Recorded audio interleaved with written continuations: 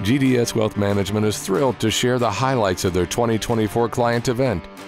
Hosted at the beautiful Circle R Ranch in Flower Mound, the evening began with a mouth-watering barbecue dinner catered by Pecan Lodge. Guests enjoyed a variety of activities, including photos with a live longhorn steer, armadillo races, and thrilling mechanical bull rides. Attendees were treated to captivating performances by Nashville's esteemed country songwriters, Shy Carter, Natalie Hemby, and the Warren Brothers. Not only did the performers showcase their top hits written for renowned artists like Kane Brown, Kacey Musgraves, and Toby Keith, but they also shared the heartfelt backstories behind each song.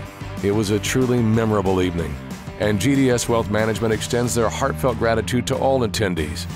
It is an honor and a privilege for GDS Wealth Management to serve their clients.